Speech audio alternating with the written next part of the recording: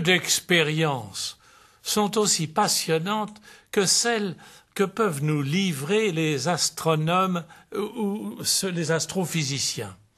D'ailleurs, depuis, je dirais, oh, une quinzaine d'années peut-être, avec le doux barbu Hubert Reeves, les, livres se sont multipliés, des livres passionnants, très faciles à lire, où, ils ont dépouillé tout ce qui était trop technique. Je pense par exemple à deux livres, Il pleut des planètes et puis le, théorème du nénuphar.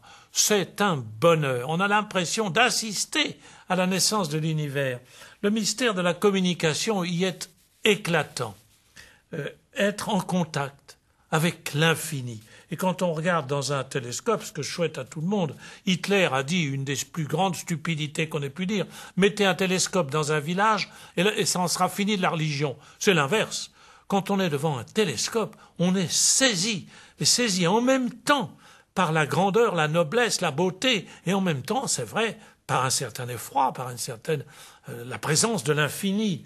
Euh, nous pouvons remonter quasi jusqu'à la naissance du monde, il y a 15 milliards d'années. Il y a une limite, les, les, 300 euh, premiers mille, euh, le mur de Planck, comme on l'appelle, on ne peut pas le franchir. On ne peut pas être là exactement à l'instant zéro. Ça, ce n'est pas possible. Mais quelle merveille Nous communiquons avec ce qui s'est passé il y a des milliards d'années, aussi bien que, en même temps, avec ce qui s'est passé il y a simplement 200 000 ans ou 20 millions euh, d'années. Et je pense à ça en réfléchissant à ce que veut dire le mot Église catholique. Vous savez ce que veut dire ecclésia en grec? Ça veut dire le groupement, le regroupement, cela qui se connaît, cela qui s'entretient, qui entretient des relations, le groupe. Et puis catholone, catholique, ça veut dire selon l'univers. C'est-à-dire, rien qu'avec ces deux mots, l'Église catholique, nous disons la splendeur du groupement des hommes, de la possibilité de communiquer, d'enregistrer, de se comprendre entre la totalité de l'univers. Alors, avec l'astronomie, tout se conjugue. L'harmonie, la précision mathématique, la beauté et l'inconnu. Alors je choisis comme titre le centre de notre parabole, le centre du monde. Oh là là, pas au sens où les politiques ou les dans leur querelle voudraient se prendre pour le cologarithme de je ne sais pas quoi et, le centre du monde. Hein. On a l'impression que ces messieurs, quand ils sont une fois qu'ils sont sur le piédestal, ils sont sur le centre du monde. C'était ce qui fait, m'a toujours fait rire devant la statue de Molière. La statue de Molière, quand euh, l'Académie française a mis quand même une statue et a mis comme bande, comme légende sous la statue de Molière, euh, euh, il n'eut pas besoin de sa gloire, mais la nôtre, il n'entra pas dans notre compagnie, mais sa gloire lui suffit. Enfin, ils avaient fait hommage de leur. Bon, nous prenons simplement le centre du monde. L'un des plus grands astronomes français, qui est chrétien, Charles Ferenbach, raconte. Il s'émerveille. Et il écrit ce que je vais vous lire.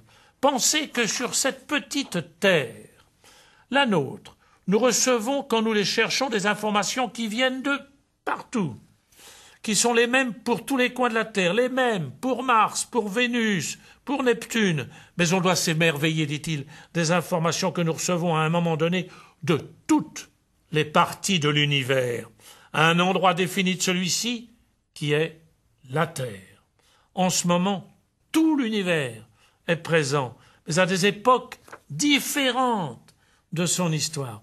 Et voici l'un des constats les plus surprenants que l'on ait pu écrire. Tout l'univers est présent, mais à des moments différents de, de son histoire.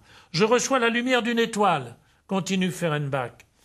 Lumière qui est partie il y a vingt ans, d'une autre qui est partie il y a des milliards d'années et tout cela en même temps. Il ajoute le temps et l'espace ne possèdent aucun point fixe, sinon l'homme. Voilà notre grandeur. Nous ne sommes plus, nous ne sommes pas le centre du monde, mais au centre du monde. C'est tout à fait différent, mais c'est merveilleux. Nous pouvons néanmoins considérer que nous sommes encore un peu le centre du monde, puisque nous qui observons, nous ne savons pas où est la limite, la limite s'il y en a une. Mais encore une fois, nous sommes capables de tenir en même temps ce qui s'est passé il y a 20 ans ou il y a 15 milliards d'années. Ainsi, nous pouvons communiquer avec les nébuleuses qui nous envoient leurs informations de plusieurs milliards et nous restons, cependant, nous restons sur une petite planète. Petite planète. Et là, quelle leçon d'humilité. Nous pouvons collecter, nous pouvons comprendre, nous pouvons saisir la vie, l'évolution, qui sont peut-être d'étoiles, de planètes, de, comment dit-on, de, groupes de planètes, de groupes d'étoiles, qui sont peut-être éteintes. Il y a 20 milliards d'années, elles existaient. Maintenant, elles sont peut-être plus disparues que dans le trou noir, le grand trou noir. Quelle leçon de grandeur et d'humilité euh, Nous pouvons communiquer avec ce qui s'est passé il y a plusieurs années, de milliards d'années-lumière, et, des milliards de milliards de kilomètres. Et cependant, nous restons très démunis, voire euh, cependant incapables de rapporter exactement le détail d'une photo, de, communiquer avec notre frère. Tout d'un coup, quand je vois quand je parle à un frère, je dis, mais est-ce que tu pourrais pas dire ça à ton frère? Il me dit, oh, depuis 17 ans, nous ne parlons plus jamais de choses sérieuses. Nous, captons des milliards de kilomètres et puis nous, nous, avons des difficultés euh, pour échanger avec un frère, de communiquer, de comprendre le geste d'une humilité d'un Africain, d'un Indien, d'un Mélanésien, ou même simplement de deviner ce qu'un enfant nous dit dans son bafouillis. Quel mystère tout simplement, nous ne savons pas, nous captons la lumière de milliards de kilomètres et nous sommes si incapables de transmettre la merveille des merveilles, le credo.